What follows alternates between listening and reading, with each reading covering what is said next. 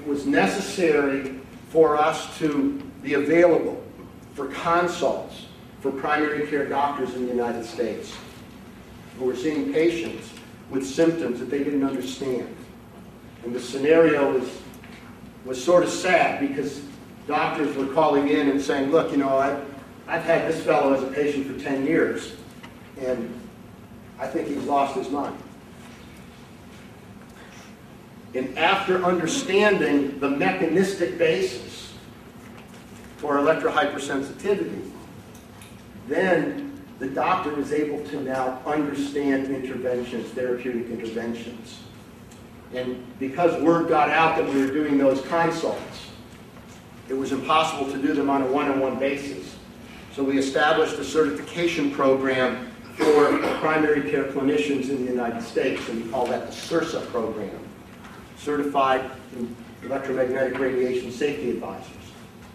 And we're holding that certification course now once a month for primary care practitioners and other professionals in the United States. Now, primary intervention, eliminating the exposure, used to be something that we could talk about relative to cellular phones. Because in the old days, and remember this is high technology, so the old days is 2001. In the old days, we could make a distinction between the near field plume from a cellular phone antenna, which was about six or seven inches around the center of the dipole antenna, where the highest concentration of information carrying radio waves would be, and the far field, which was the field where the intensity of the signal would dissipate. What's happened now, in the past few years, is that the number of people using cellular phones in the world has risen to has risen to 2.2 billion. In communities around the world, they're going to wireless WiMAX. There are Wi-Fi in almost all the major airports, all the major hotels. There, there are some groups who are even considering putting Wi-Fi in schools.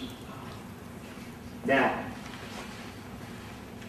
when you understand the mechanism of harm, the information carrying radio waves, wherever you have information on a radio wave, you can trigger the cell membrane response. There is no threshold. And the background level of information carrying radio waves is now indistinguishable in most major cities from the near field plume on a cellular phone. We have a major problem.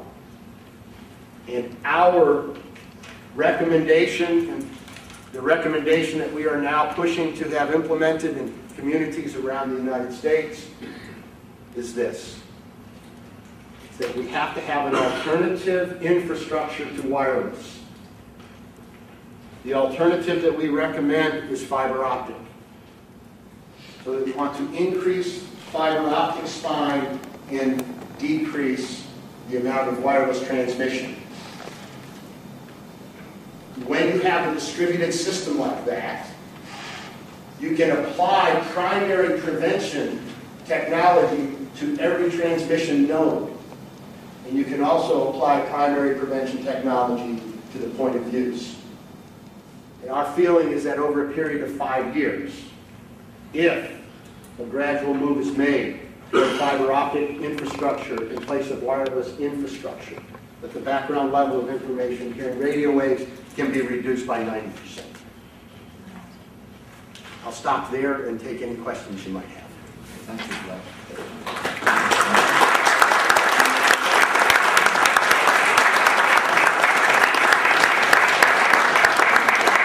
Right, I wonder if we can make the uh, questions terse and sharp, you know, and, and, and, and uh, reject the long stories of history and so on, so we can get some facts out here. Let me ask you the first question, George. Would I be forming micronuclei in my body, do you think, you know, even though I don't live near a telephone mast or use phones very avidly or whatever, despite this afternoon? Uh, as a, as a background. Yes, I'm, I'm worried about when you Yes. see all these things are happening, but good science depends on good controls. Yeah. Where you've got an alternative, and you can see that uh, what happens in relation to phones or radiation is you know, happening in other people who don't use them okay. It's, it's, it's very clear in the research that is published in peer-reviewed journals that uh, the incidence of micronuclei following exposure to information-carrying radio waves is much higher than the background incidence of micronuclei. In fact, uh, research this past year out of India shows that you can, with a mucosal scrape, pick up micronuclei in the mucus, mouth mucus, of people who use cell phones as compared to people who do not. So we're, we're very confident that micronuclei are formed with the exposure, but more importantly, is that when you intervene with something like a noise field technology, where the cell membrane, the cell membrane recognition mechanism is inhibited, you do not have the formation of micronuclei. So that sometimes the best proof that it's there is the ability that you can take it away. Okay? Yes, say who you are, yeah, who you are, but better tell us. uh, BBC medical correspondent. Um, could you uh, tell me what did you make of James Rubin's study in the BMJ and other studies he's done where he did a double-blind placebo trial of people who said they were sensitive to mobile phone signals and he couldn't find any evidence of that. And can you quote to me any uh, similarly robust trials that show the opposite? Well, our, our experience with our, with our registry is that, and our experience with clinicians who treat these patients, uh, I think it's a very different database uh, from the database that's in a, in a constructed trial, is that the different exposure windows impact different people in different ways. And there are different pieces of those exposure windows, different frequencies that may trigger responses in some people and not trigger responses in other people. The other thing that we have is that the mechanism of harm that we now understand, which is disrupting intercellular communication, can lead to a whole host of different pathologies. It's a fundamental pathological um, deficit that we're inducing here. So that when I look at the studies that attempt to control the type of response that you might get from a fundamental, from a fundamental uh, pathological disruption, uh, I think that you, you would have to design a study that would be able to look at hundreds upon hundreds of alternative exposure effect responses. I don't think it's possible. And that's why we have focused our efforts on dealing with the doctors. Because what happens when a doctor is going through a differential diagnosis, he'll try something, and then it won't work. And then he'll try something else, and then it might work a little better. And then he'll try something else, and then it'll work. That type of information is only the clinical intervention level. And with a moving target like electrohypersensitivity, we feel that that's the only way that we're going to get information soon enough to help patients. Now keep in mind, our orientation is not research. We are trying to help patients. We are trying to provide recommendations for intervention. And in the public health paradigm, one of the basic tenets has always been that you need to be able to understand enough about a disease process to be able to prevent it. And that is the baseline that we follow. I'm going to come back after that. You understand how difficult it is uh, when you know evidence-based medicine is what we are all supposed to, to go on? Um, your what you put forward today is very very worrying, and then as you say, there are thousands of people who report these symptoms, but without trials which can show what you're can prove what you're showing. I mean, how you have basically a theory. Well, no, I don't have basically a theory. We have clinical data. And Let me, let me respond. I think that you, you hit on something very important. What you need here in the UK is a post-market surveillance system. You need a program that brings clinical data into the hands of the decision makers in an objective way.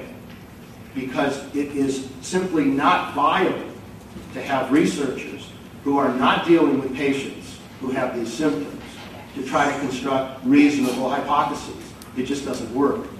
So that what you need is perhaps Dr. Challis and the money that he's going to be putting together here can set aside something for the clinicians.